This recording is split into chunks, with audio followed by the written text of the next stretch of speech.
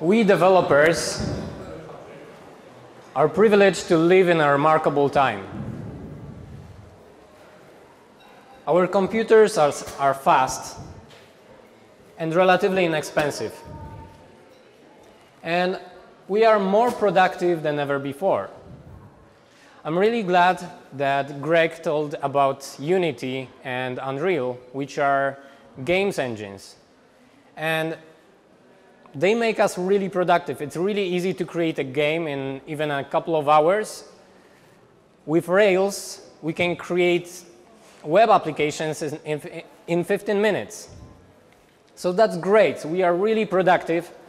And for example, if I take my phone, which is like five years old, um, its processor is like 1,000, 1 gigahertz. It has plenty of memory, and it even connects with the freaking satellites. How cool is that? But there is one thing. Every time I've upgraded the software of that phone, it got slower. And I think that this tendency is prevalent in pretty much everything we do as developers because we, we don't need to optimize our software because it is fast enough. If we want to solve a problem that um, related with websites uh, loading slower, we can add additional computer, we can buy additional hardware, and it works. I don't want to say that, but I think we might have become lazy a bit. And we have lost something along the way. So my question is, what was the last time you, you've built something from scratch? How many of you work with like C Sharp, Ruby, something else? JavaScript maybe? Okay. How many of you uh, did anything with C? Okay, not that many of you. How many of you did something with assembly? Okay, almost as with C. That's interesting. So uh, we don't have any opportunities to practice that. And I think that this is kind of important to, to learn to do something from like from scratch, from the bottom up. And the thing is with modern assemblies is that they are so, so, complicated, it's not feasible, and it's not fun to work with them. Mm, it would be great if there would be a machine with a simple assembly that could allow us to do that as our hobby, to do that uh, to, well, not to practice that during our work because we don't need that during our work, but to practice those skills in our spare time just to do something fun. So we have an Arduino, for example, which is pretty cool if you want to do something with electronics, but it doesn't work when you, when you want to create a game or something like that. You can use Raspberry Pi, but it is a modern computer. It runs on Linux, and it's not not much simpler than the computer that, we, that everybody uses. But the great thing is that the computer that allows us to practice those skills already exists. And its name is Commodore 64. And I want to convince you that you should learn to program this thing this year. How many of you know what Commodore is?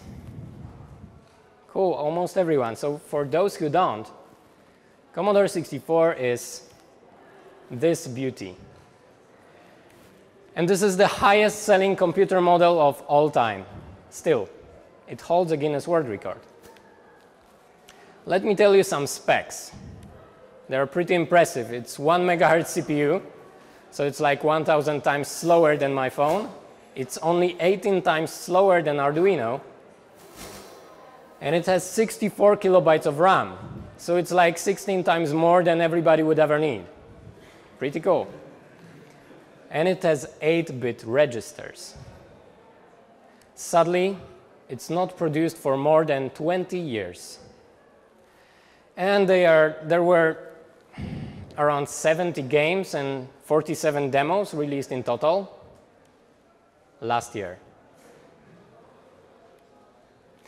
In fact, if you take a look at the statistics of games and demos released, you can see that it's kind of growing. And if you take a look at the statistic of things that people release, like not only games or demos, but uh, some graphics, some sounds, some small demos, some silly games, you count them in thousands. Lately, there were many successful crowdfunding campaigns. For example, this is a book that tells the story of generation of Swedish developers, mostly our age, that started programming or started playing on Commodore 64 and became uh, really successful developers. Then there is a story of uh, different releases on, for Commodore 64. This one is another one. This one is really interesting. There is a guy in Texas who found the original molds for Commodore 64 cases and decided to create a Kickstarter to create new cases for Commodore 64. And it was a huge success. He made a lot of money on that. There is a lot of projects that uh, release new music or release remixes of music uh, for Commodore 64, like music for Commodore 64, or people who created music for Commodore 64 play concerts. This one happened a couple of months ago in Brighton, and all greatest stars that produced music on Commodore 64 were there. It was pretty amazing. I unfortunately I was not I was not able to be there, but I heard it was really great. So people love Commodore 64. I am one of them. Who am I? Uh, I am a founder of 64bites.com. Uh, this is something that I will tell you about later. And I used to be a web and game developer. You can find me on Twitter as Michał And the one thing that is important about me is that programming Commodore 64 is among the best computer-related hobbies. Well, it is the best computer-related hobby I've ever had. And this is how I started with typing simple programs in BASIC. BASIC is a, a, programming language that is available on Commodore 64 once you turn it on. Uh, so when I was smaller, I was typing like 10 print hello, then 20 go to 10, then I typed run, and I saw a program that continuously printed the text on the screen, and I was like, Mom, come on, come, come see that. And she was like, hmm, that's great, honey. Now come to the dinner. So, but I, I'm, I'm sure she was impressed by that. But this is why I stayed. So for a long time, I haven't had a chance to dig into the assembly of Commodore 64. And I always wanted to do that because the demos and games that are produced and were produced on Commodore 64 are amazing. And it's like really, it's mind-blowing what people can do with, within constraints of this computer. So usually I do a live coding here but I don't have that much time. Uh, but if you're interested, there, there is the stand with working Commodore 64, and I can show you some stuff on that. So after the talk, I invite you there. Let's talk about Commodore 64. It has plenty of graphical modes. First one is a normal character mode. It's called high resolution because it's 320 by 200 pixels. Uh, there is 40 by 25 characters. Each one of them has one foreground color, and there is one common background color for all characters. And there are 256 characters to choose from. You, usually you use it to write text or create applications like business ones, serious applications that you would use in a bank or to, for example, go to the moon. But you can also create games with it. And this is kind of interesting. So all of those graphics is built with characters. And you can see that uh, there are more colors that I said the, there would be possible because here you have two colors per characters, but here you have different color of the background. And this is because it is one of many, uh, one of many useful hacks on Commodore 64 are, are being used here. Basically, when Commodore 64 generates graphics, uh, the pixel or the ray goes horizontally on the screen. And the graphical chip can tell you where actually the ray uh, on your TV is at the moment. So at this moment, it can run a small program and change the background. And here, it can change the background again. So this, this way, you can get more colors than would be normally possible. And it is used frequently in a lot of demos and a lot of games pretty much everywhere. But let's get, get back to the graphical modes. The other one is the multicolor character mode. You sacrifice the high resolution graphics because you have only 160 pi uh, pixels wide. So the pixels are basically wider on the screen, but you get three additional foreground colors. And with that, you can create graphics like this one. So all those platforms here are written by are, are drawn by characters. And you can see that there are like three or four colors in every one of them. So this is, this is how you draw a background in most games on Commodore 64. You use multicolor character mode. Then there is pretty weird extended background character mode, which uh, allows you to draw with a higher resolution, uh, but you have only 64 char characters to choose from, but you get additional background colors. And those are game, this is exa example of a game that uses this character mode, and this is how it looks like. The interesting part about this game is that the first version of this game was designed for Flash. It was only designed to look like it was made on Commodore 64, but there is one person in the community of six Commodore 64 programmers that takes games that are produced on many different platforms and tries to port them onto Commodore 64. And this is like one-to-one -one port on Commodore 64 because it's like it looks like it was made for Commodore 64. Then there is high resolution bitmap mode. When you don't draw with characters, but you draw with pixels, like with normal bitmap, but it's kind of weird because Commodore 64 was produced quickly and cheaply, like the, well, not, not only the Commodore 64, but the graphical chip and it reused some kind of logic related to drawing characters. So basically you can think of bitmap mode as a 1000 characters put on the screen memory. Uh, what it means in practice is that pixels are not ordered row by row, but row by row inside of the character and the next character row by row and so on.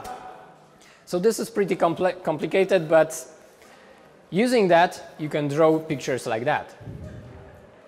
And if you use uh, previously mentioned hacks with, uh, with interrupts that show you when the, where the ray is, you can create images like this one. Then there is multicolor bitmap mode, and as with any multicolor modes, you sacrifice the resolution, so pixels are wider, but you get more colors, and you can draw pictures like this one or this one. So those are, those are built-in Commodore 64 graphical modes. But the funny thing is, every year, Commodore 64 developers and designers uh, invent new graphical modes for Commodore 64. So basically, they uh, figure out hacks or figure out some different quirks of the machine and try to display more colors, uh, try to display, try to fake higher resolution and things like that. So basically every year you get better pictures on Commodore 64. In the, at the same time, every year my iPhone gets slower. Think about it. So you can get pictures like this one. If you take a closer look, and especially if you, if you watch it on the real uh, TV set or, or real Commodore, 60, Commodore 64 monitor, uh, you get effects like color bleeding, and it looks like it can display more than 16 colors. So this is another example. If you, if you would show that picture to someone 20 years ago, they would not believe it's on Commodore 64. So, as I said, it has pretty powerful CPU, so 1 megahertz, but it is not enough to fill the whole screen uh, on each frame. So thanks to that, you have, uh, you have eight hardware sprites that are small movable bitmaps uh, that you can draw on the screen, that you can move around the screen, and it's rendered with uh, the graphical processor. And it was designed to create game, games, games like that. So those monsters, uh, this explosion and the player are all sprites, and the rest of thing is characters. sprites again can be switched to a multicolor mode, and then again you sacrifice the resolution, and you can have sprites like that. So the character at the bottom is drawn with multicolor sprites. You can see the wider pixel, pixels, but you can see additional colors. And if you draw that, draw graphics with sprites, you can quickly change the pointers to the un underlying bitmap, and you can create pretty good animation.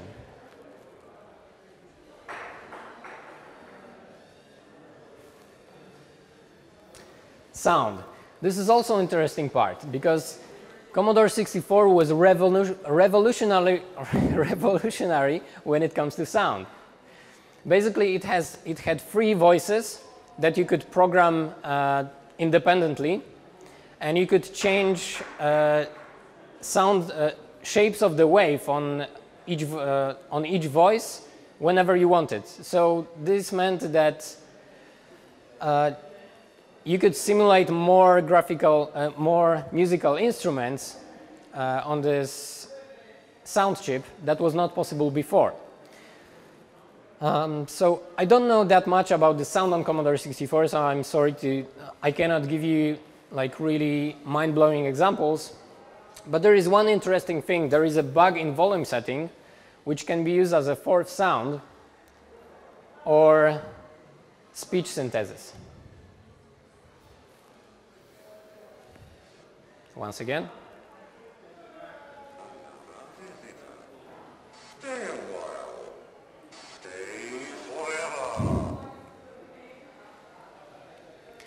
Okay, so there are many different tricks that programmers and uh, designers use to do stuff on Commodore 64. There is sprite multiplexing. Uh, basically, Commodore 64 is supposed to allow you to draw only eight sprites. But uh, actual constraint is eight sprites on single horizontal line. If you draw eight sprites and go to, uh, to the bottom and switch sorry.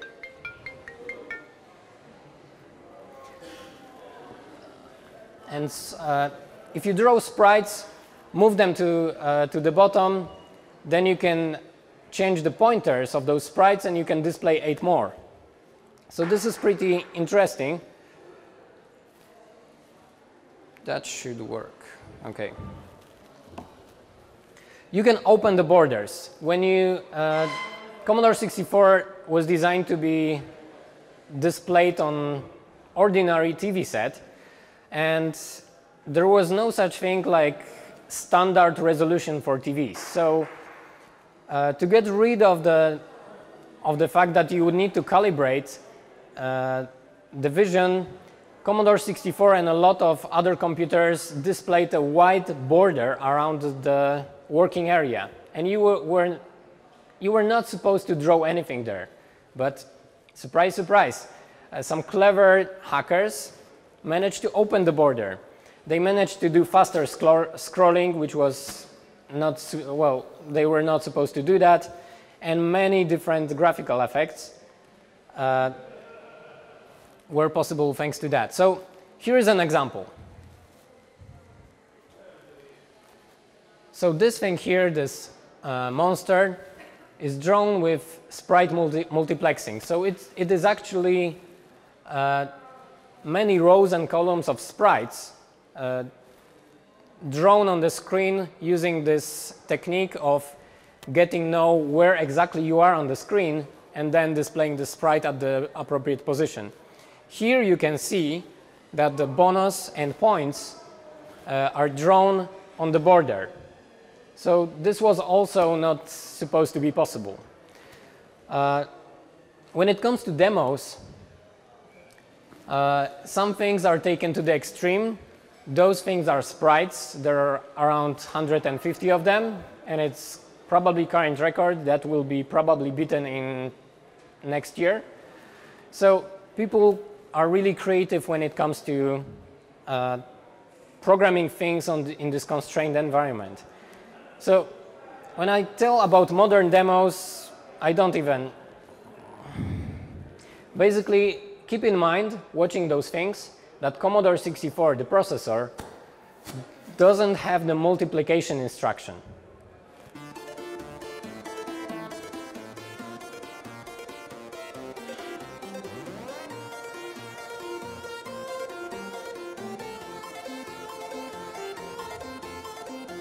No, it doesn't have a graphic card.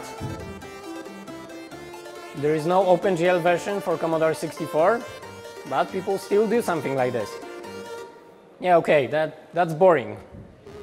Let's add some shadows, maybe. And dynamic lighting.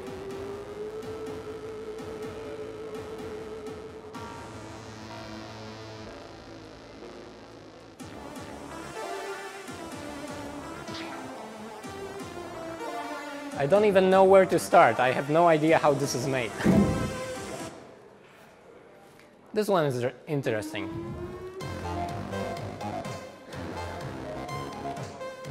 One megahertz processor. No multiplication.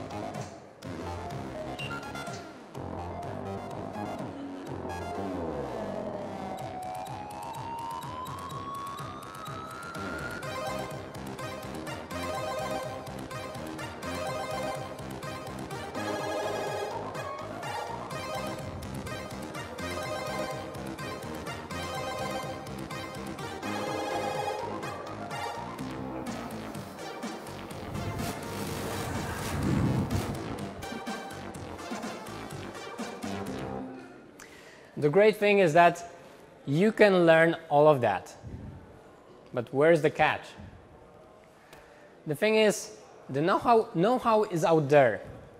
Basically, everything that's uh, you can get all the materials on the internet, but it's not that easy to access.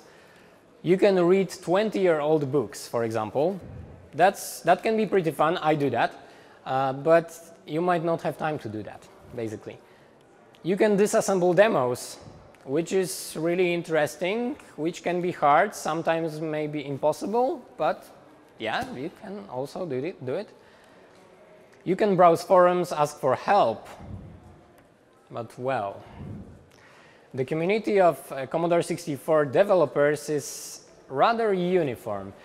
Mostly is uh, built with guys that either know everything about Commodore 64 or somebody who grew up with Commodore 64 and always wanted to do something with that. So basically, there are, there are many friendly people that, that want to share the knowledge, but some of them really want you to go with the same hard and uh, difficult path to learn what they know. And I want to change it. And this is why I started the 64bites project. And the long-term goal, long goals of this project is to bring more people to the Commodore 64 community. And not only people who grew up with Commodore 64, but also those who know nothing about Commodore 64, nothing about retro computers. For example, who don't know that the, the, the processor of Commodore 64 was also used in, uh, in Apple II, NES, Atari and probably a lot of other systems. So I want to make the community more accessible. So to gather around people with modern uh, approach to learning stuff who don't want to uh, keep it to themselves like demoscene, but want to share the knowledge and keep the Commodore 64 alive. Because when the guys who know everything about Commodore 64 decide to not do that or mm, maybe pass away, that, that would be really bad for the community. So uh, I do quite a lot of things uh, related to, to this project. So one first of them is the series of screencasts I started doing. Uh, basically, I release a weekly video that teach you a small part of Commodore 64. And each video is five minutes long, and this is by design, because uh, we are busy. We don't have time to read all those books. And everybody has five five minutes to learn something new. And in a couple of months, you could create a new game for Commodore 64. That would be great. So each video has exercises, the source code, and it is in inspired by Ruby Tapas by Avdi Grimm. Do you know what Ruby Tapas is, maybe? Ruby developers? Yeah, Ruby developers know. Uh, so, yeah, you can watch free samples at 64bites.com. And if you uh, it is a paid subscription, so if you buy it today, you get 10% off with the TWF 2015 coupon code. Uh, yeah, so I also do talks uh, like this one and try to uh, let people know that Commodore 64 still lives, that there is a projects that, that gather around, new community of people who want to learn it. And mm, basically, I want to uh, find people who would like to have a new, pretty interesting hobby and do something that they never did before. So I also do workshops. I already uh, made two of them. There were more, uh, were around 88 people attended both, both of them, and we managed to create one and a half game. The half is because we were too ambitious with the second, first workshop but on the second one, we managed to create the whole game from scratch. So uh, I try to release uh, stuff to the open source community. So I already released one library, which is 64 spec. You can find it on GitHub. Uh, if you program in Ruby, it is uh, highly inspired, uh, really inspired by, by RSpec. And basically, it is test-driven development framework for assembly for Commodore 64. It's already on Git, GitHub, so uh, yeah, you can check it out. You can uh, send me pull request. That would be great. So I have a small favor uh, to ask for you. So basically, uh, I would be really happy to see people who never knew about Commodore 64 and to see them create a game or a demo. So if you don't mind, please tweet about this project and or share it on Facebook or just tell your friends about them. Maybe some of them would be really happy to have a new hobby. To sum it up, we are privileged to live in a remarkable time because programming Commodore 64 is easier than ever before. And I want to challenge you to create a game or a demo this year.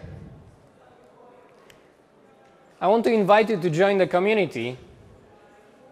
Let's make it bigger and better together.